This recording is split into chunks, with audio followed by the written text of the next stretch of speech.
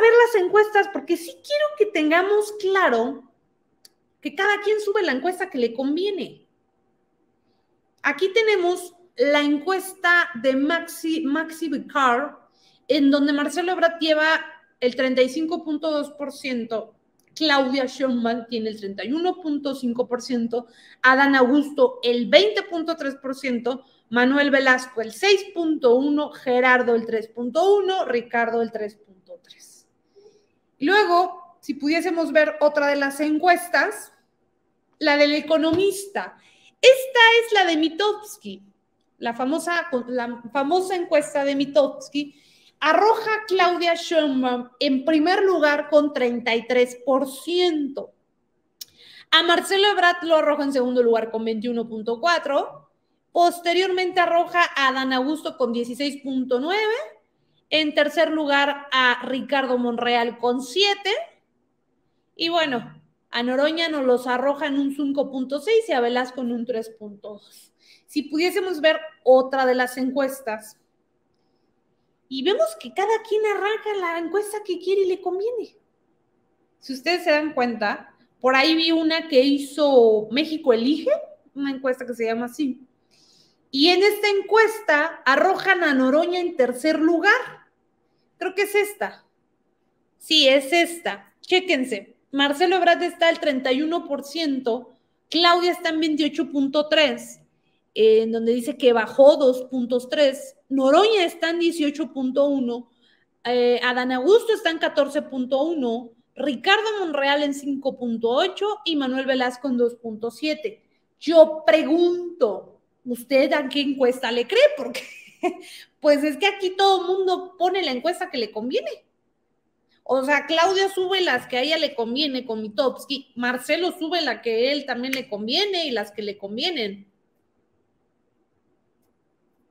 Yo pregunto, aquí por ejemplo, Publímetro arroja a Marcelo también en primer lugar con 39.4 a 30.5 Claudia, a Gerardo lo arroja con 11 y a Dan con, con 11 también. O sea, Dan abajo de Gerardo.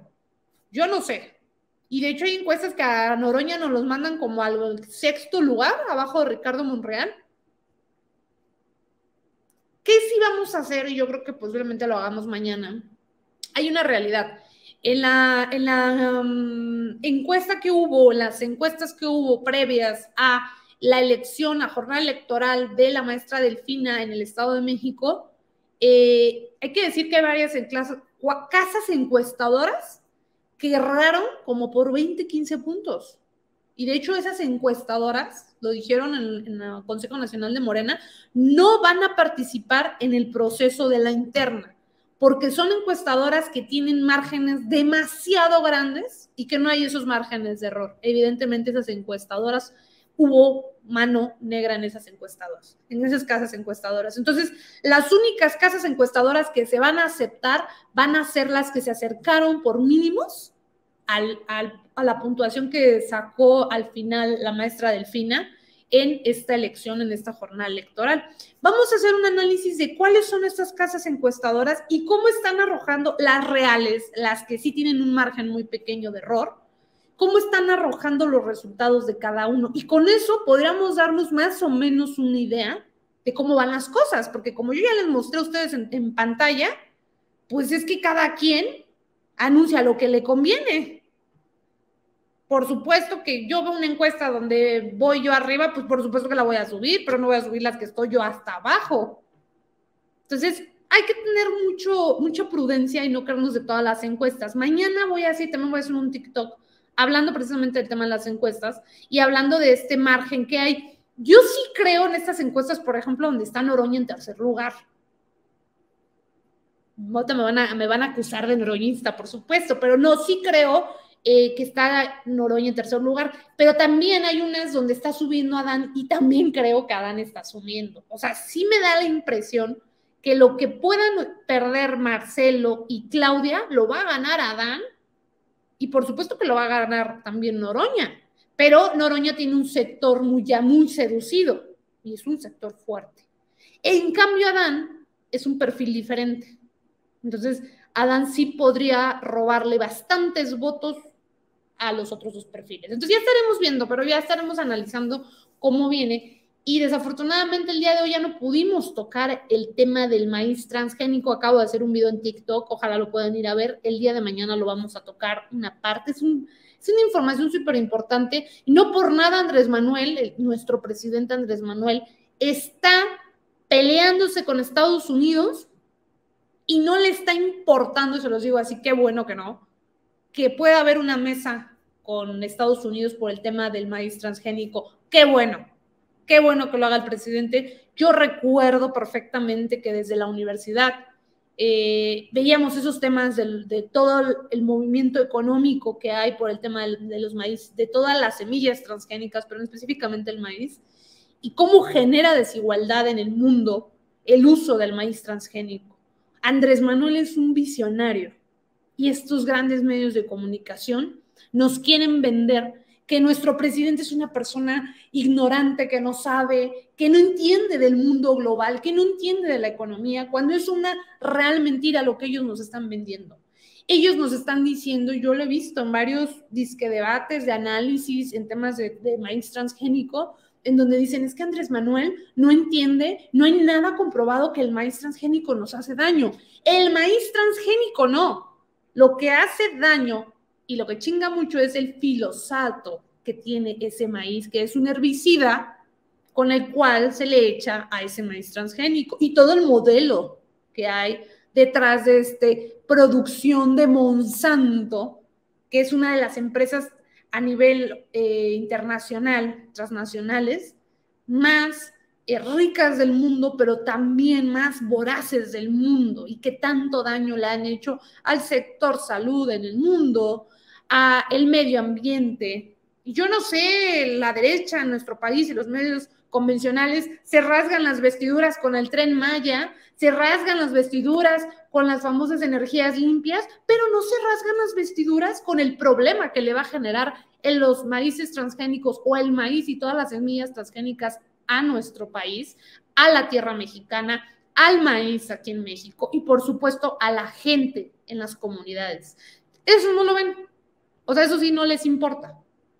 Eso es lo que yo me pregunto, pero bueno, ya lo estaremos hablando el día de mañana porque es un tema súper, súper, súper interesante. Y hoy pues nos fuimos con el arranque, nos fuimos con el arranque. Diario vamos a estar mencionando de manera súper breve nada más eh, salvo salga muy, algo muy interesante con cada uno de los, de los perfiles, ya estaremos, un pelito que tengo acá arriba, ya estaremos analizando un poco de cada uno. Yo ya dije como en general qué veía de las estrategias de cada uno eh, y pues que gane el mejor, la mejor o el mejor, sin duda. Y ya estaremos viendo quién capta los votos de los otros que pierden o si los que van ganando siguen subiendo o van bajando. Depende la estrategia, depende el clic que hagan con la sociedad mexicana y por supuesto depende de las propuestas que tengan. Eh, y ya veremos, ya veremos cómo van las cosas. Mi gente hermosa, yo les mando un fuerte abrazo.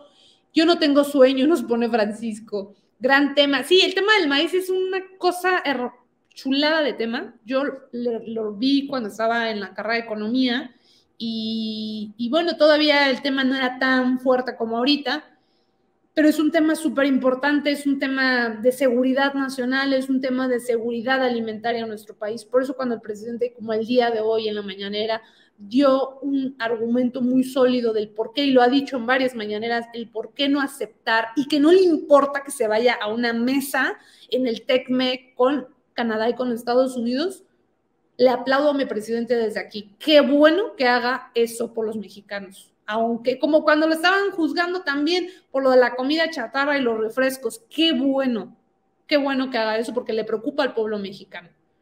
Andrés Manuel está haciendo lo que no venían haciendo estos neoliberales en México. Ellos le abrieron la puerta a todo lo que pudiera perjudicar la salud, la sociedad, todo lo que pudiera perjudicar a los mexicanos, si por ellos pasaba, pues no, no, no, no sucedía absolutamente nada mientras ellos ganaran mucho dinero. Porque ustedes no se imaginan cuánto dinero dan esas empresas como Monsanto a los gobiernos para corromperlos y para poder hacer lo que tengan que hacer y romper, corromper las voluntades que tengan que hacer para hacer negocio en los países.